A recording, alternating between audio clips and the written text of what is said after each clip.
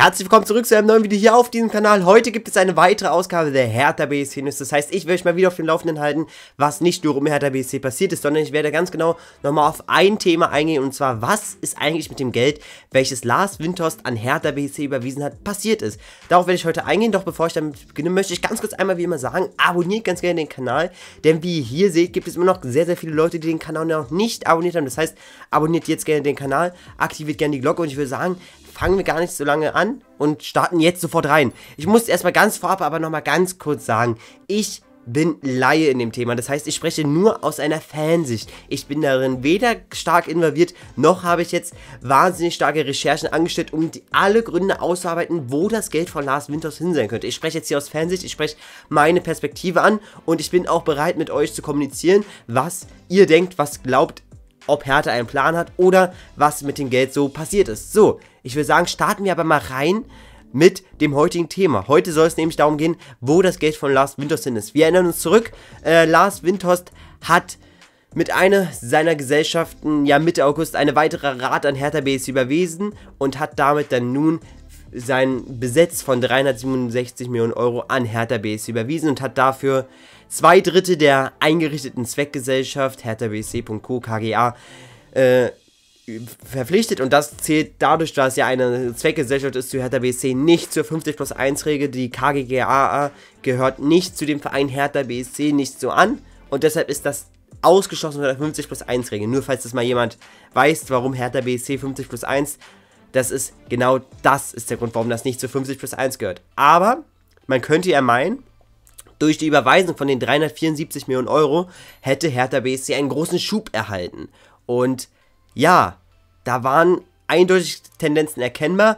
Das erste Windhorst-Fenster war im, Winter 1920, also knapp vor Corona. Dort hat denn Untertrainer Jürgen Klinsmann Hertha BSC einige Transfers angetätigt. Und zwar, äh, ich glaube, Kunja, Piontek und Askasiba. Toussaint wurde verpflichtet für den Sommer und damit flogen insgesamt knapp 120 Millionen Euro raus für sämtliche Spieler und damit hat man ein Drittel des Winters-Geldes damit ausgerechnet. Hertha BSC, sehr viel Aufsehen dafür, wurde beleidigt von allen Bundesligisten als Big City Club, da man ja vor allem nichts erreichen konnte. Man hing unter den eigenen Erwartungen, man hing unter den eigenen Wünschen und ja, ein halbes Jahr später, im ersten Corona-Sommer, durch Corona natürlich jede Menge Verbindlichkeiten, Schulden dazugekommen, darauf gehe ich aber alles gleich ein. Ähm, und leere Stadien. Cordoba, Schwolo, Cefuig waren die Neuzugänge und Duda ging nach Köln und Hertha BSC gab 20 Millionen Euro im Netto aus. Das heißt, man hat Cordoba verpflichtet für 15 Millionen, Duda ist für 7 Millionen nach Köln gegangen. Man hat Cefuig für 4 Millionen verpflichtet, hat dort jede Menge am Preis rumgeschwankt und ja, das so viel dazu und das neuliche Sommertransferfenster, dort schafft es sogar Hertha BSC mit einem Plus raus. Erinnern wir uns, Cordoba für 20 Millionen nach Krasnodar gewechselt, Cunha für 30 Millionen nach Atletico gewechselt.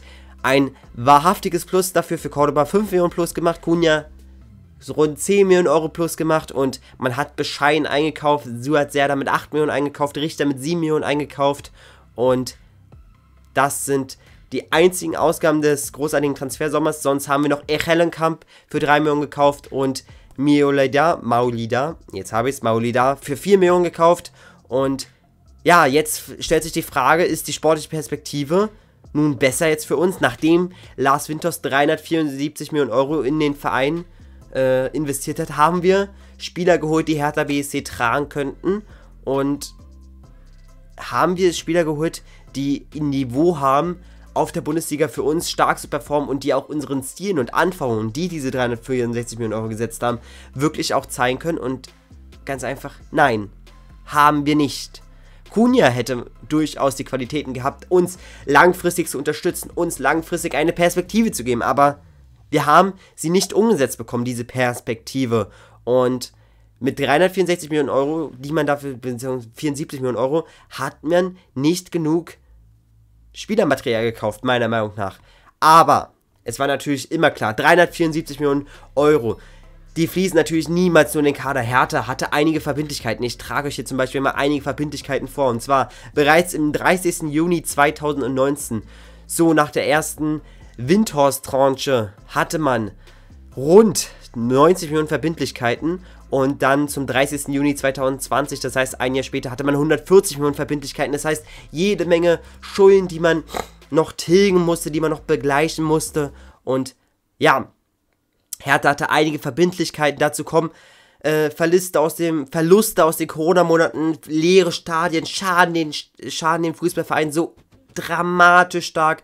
Ich sage mal, Eintracht Frankfurt hat jetzt enorme Verluste zu büßen, weil sie täglich ein, beziehungsweise zu jedem Spiel ein ausverkauftes Stadion hatten und keinen Investor in der Hinterhand hatten, der sie, der sie unterstützen könnte über einen langen Zeitraum auch ohne Fans auszukommen. Das gleiche gilt natürlich auch für Dortmund, welcher auch enorme Verluste hinnehmen musste. Und das ist alles basiert auf den Corona-Maßnahmen, auf die leeren Stadien. Das war sehr stark. Dann natürlich auch nochmal 100 Millionen Euro für Einlast, Altlasten, 100 Millionen Euro für Corona-Defizite und theoretisch bleiben da rund 170 Millionen Euro übrig für einen sportlichen Anschub, für sportliche Kaderinvestitionen. Ich 100 Millionen Altlasten, das ist jetzt mal so ein bisschen und 100 Millionen Corona-Defizite ist jetzt hier sehr über den Daumen gedrückt. Das ist jetzt nicht das, was der Realität entsprechen könnte, aber jetzt mal so nach meiner Rechnung und trotzdem hätte man ja dann 170 Millionen noch übrig für einen sportlichen Anschub und von diesen 170 Millionen haben wir schon 80 Millionen ausgegeben, auch schon die Einnahmen Cunha, Cordoba habe ich schon mal dazu gerechnet, das heißt so knapp 90, ich sag mal so 80 Millionen Euro dürften da eigentlich noch zur Verfügung sein. Und was ist jetzt der Plan mit diesem Geld? Hält Hertha das in Reserve, um dann jetzt so zu tun, yo, wir haben ja kein Geld mehr und um dann im Winter richtig zuzuschlagen mit Bombentransfers? Oder fehlt einfach nochmal viel mehr Geld. Und ja, man muss es einfach